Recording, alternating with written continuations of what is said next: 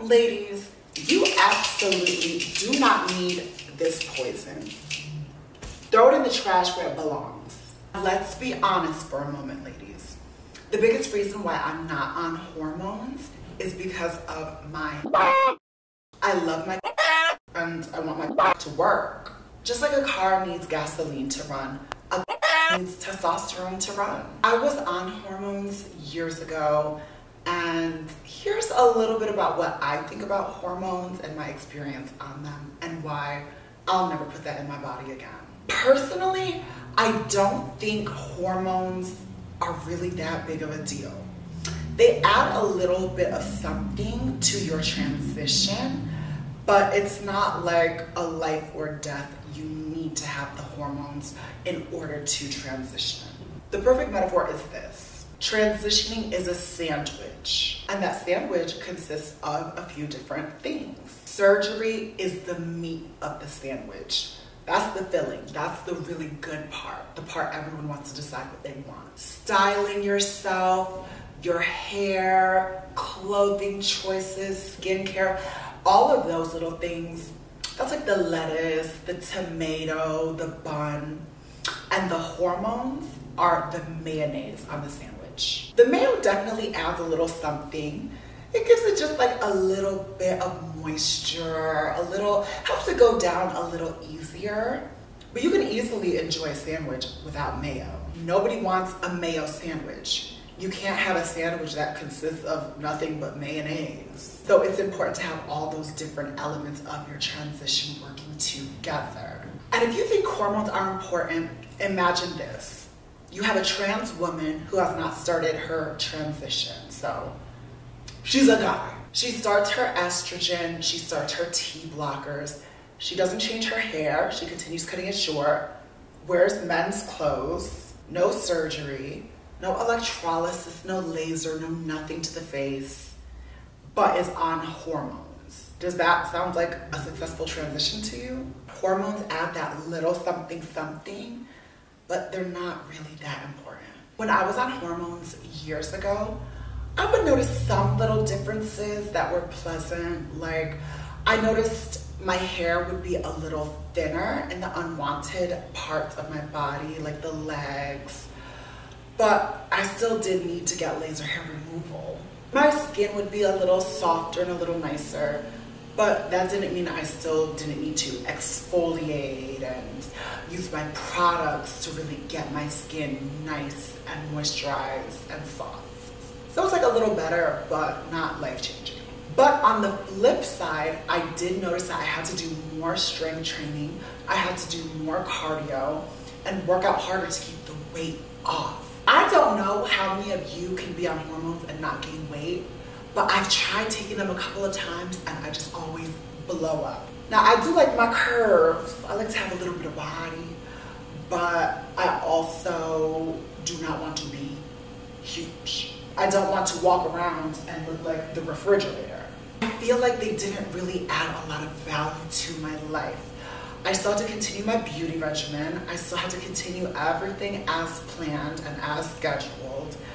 But I had to add some things as well, like extra cardio, extra strength training, just to keep the weight off. I can see why some of you bricks need hormones, but it's not me. When it comes to your face, the only thing that hormones are going to do to feminize it is to just add a little bit of fat to your face.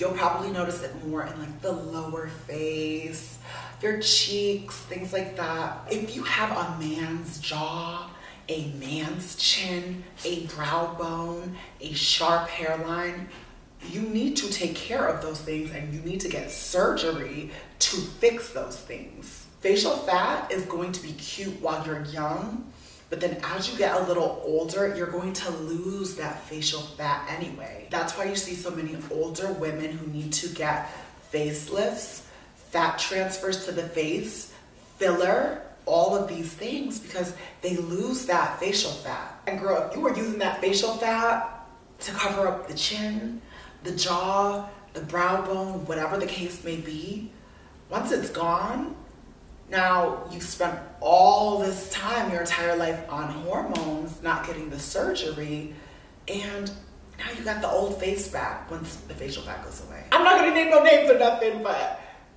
if you know some older girls who never got their surgeries, as they get older, they revert into a brick.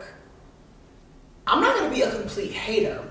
Hormones definitely do turn it for the body and for certain things with the body. If you are extremely skinny, maybe you did a lot of strength training prior to your transition, or you just naturally have a lot of muscle tone, it can be good to get that little bit of fat over just to make you a little softer, plumper, more feminine looking.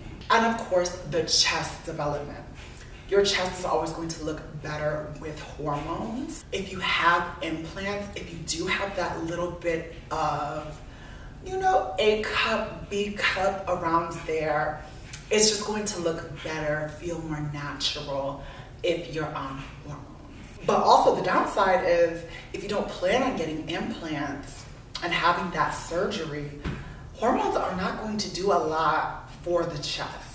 It's gonna give you a little something to work with that would make the surgery better, but it's not gonna be anything to write home about.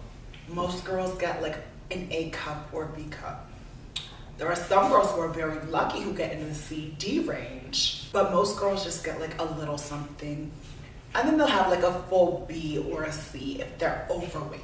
The other negative thing about hormones is they really only work if you're young. The further you get away from your natural puberty, they're gonna work less and less. If you're in your 20s, they're probably not gonna work that well. If you're in your 30s, it's really not gonna do a ton.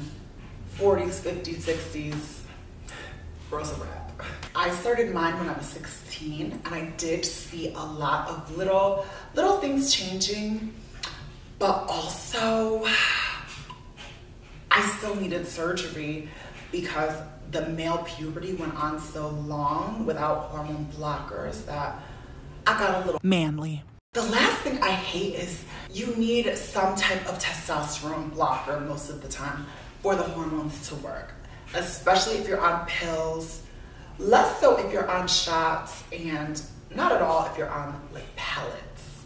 I've tried different hormone blockers and they just always make me feel like shit. I feel like that's really what gives me no energy, makes me feel like shit. Of course, it kills your sex drive. And I just kind of felt like a zombie sometimes. Being on hormone pellets was a lot better of an experience, but nothing compares to being all natural.